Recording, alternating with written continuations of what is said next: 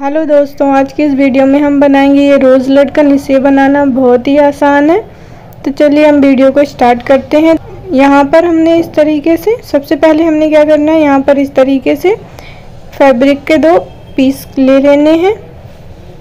ये देखिए, इस तरीके से मैंने फैब्रिक के दो पीसेस लिए हैं, जिसकी लंबाई और चौड़ाई मैं आप बता देती हूँ।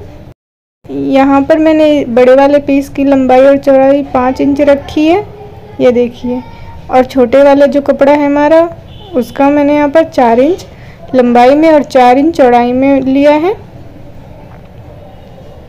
अब क्या करेंगे, हम छोटे वाले पीस को हटा कर रख देंगे और बड़े वाले पीस को हम ले लेंगे। और मैंने यहाँ पर मार्केट से डोरी ली है, आप चाहें तो कपड़े की डोरी बना सकते हैं। अब हम क्या करेंगे, फैब्रिक को इस तरीके से ट्रायंगल शेप में फोल्ड कर देंगे। ये देखिए। इस तरीके से हमने फैब्रिक को ट्रायंगल शेप में फोल्ड कर लेना है। इसके बाद हमें क्या करना है? जो हमारी डोरी है, इसे हम इस तरीके से एकदम बीच में रखेंगे। ये देखिए, इस तरीके से एकदम बीच में रखेंगे। बीच में रखने के बाद क्या करेंगे? इस कोने को हमने लेना है और यहाँ से यहाँ पर इस तरीके से मोड़ लेना है, यानी फोल्ड कर लेना है। अब दूसरे वाले कोने को भी हम एक बराबर कर कर इसी तरीके से फोल्ड कर लेंगे। ये देखिए, और यहाँ से हम सिलाई लगा देंगे। ताकि हमारी डोरी फिक्स हो जाए और इधर उधर भागे ना। तो चलिए हम इसमें सिलाई लगा लेते हैं पहले।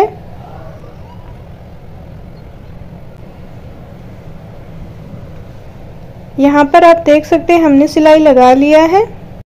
सिलाई लगाने के बाद अब हम क्या करेंगे, यहाँ पर इसे इस तरीके से पूरा एकदम पकड़ लेंगे दोनों साइड में। ये देखिए, इस तरीके से एकदम सिकोड़ कर पूरा पकड़ लेंगे। ये देखिए, इस तरीके से पकड़ने के बाद इस पर हम पूरा सिलाई लगा लेंगे। ये देखिए इस तरीके से हमने इसे एकदम पकड़ लिया है पूरा सिकोड़ कर अब हम इसे सिलाई लगा लेंगे। ये देखिए इस तरीके से इसे हम पकड़ लेंगे एकदम पूरा दोनों साइड का और अच्छे से एकदम सिलाई लगा लेंगे।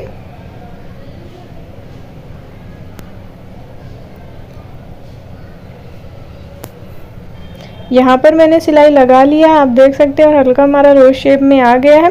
अब हम क्या करेंगे? इन एक्स्ट्रा कपड़ों को कट कर देंगे। ये देखिए, इस तरह से हमने इस एक्स्ट्रा कपड़े को कट कर देना है।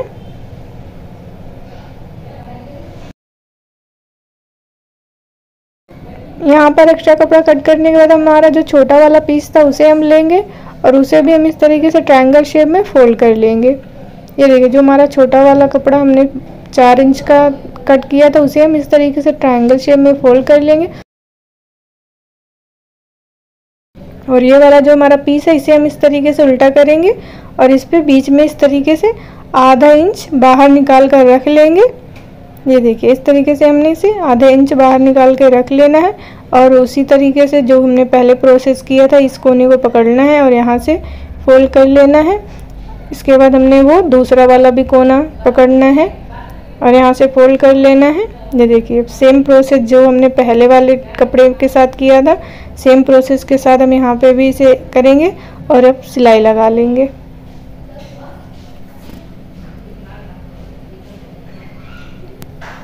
ये देखिए, इस तरीके से हमने यहाँ पर सिलाई लगा लेना है।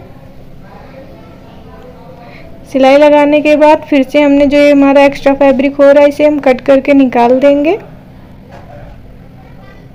ये देखिए, इस तरीके से हमने एक्स्ट्रा जो फैब्रिक है हमारे, उसे हम कट करके निकाल देंगे।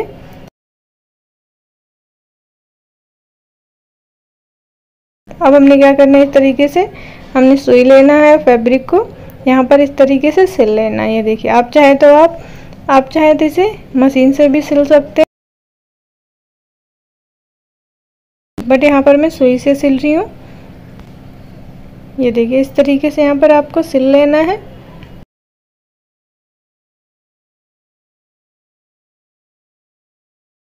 तरीके से सिलने के बाद हम क्या करेंगे? यहाँ पर ये देखिए, इस तरीके से इस धागे को खींचेंगे। ये देखिए, इस तरीके से हमने धागे को टाइटली खींच लेना है एकदम और इसे बाँध देना है। ये देखिए, इस तरीके से एकदम टाइट हमें इसे खींचना है और घुमाकर बाँध देना है। आप इसे जितना टाइट बांधेंगे, हमारा रोज़ लटकन उतना ही अच्छा बनकर तैयार होगा। तो यहाँ पर मैंने इसे बहुत ही टाइटली खींच कर बाँध दिया है। अब हम अपने रोज लटकन को ओपन करके आपको दिखाते हैं।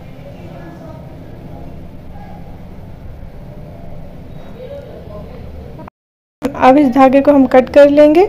यहाँ पर हमारा रोज़ लटकन बनकर तैयार हो चुका है। अब हम इसे नीचे की साइड में ओपन कर लेंगे। ये देखिए, इस तरीके से हमने आराम से इसे खींच लेना है नीचे के साइड। ये पहली कली हो गई हमारी।